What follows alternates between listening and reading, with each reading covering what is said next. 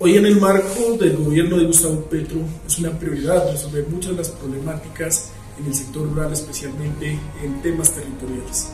Hoy mm, tenemos la, la fortuna de poder eh, volver a, a, conversar de una situación que es el tema de, de avanzar en temas territoriales sobre la solución a, a esos temas de, de, adquisición, de saneamiento, eh, de temas de, de, resguardos indígenas y hoy pues la confianza de esta institución como la Agencia Nacional de Tierras para avanzar eh, en estos procesos en cabeza de su director. Un saludo muy especial a toda la comunidad de Nariño, en especial al sector rural, a las mujeres campesinas, indígenas, negritudes, y decirles que la Agencia Nacional de Tierras tiene tres metas. Uno, 3 millones de hectáreas de gente que no tiene tierra.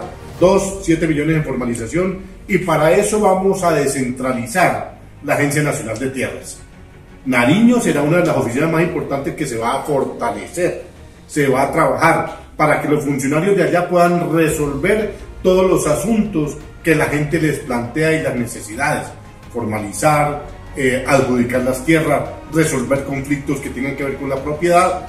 En lo que compete a la Agencia Nacional de Tierras, esos funcionarios, ya esa oficina fortalecida podrá resolver todos esos asuntos. Esperamos hacer eso de aquí al primer trimestre del próximo año.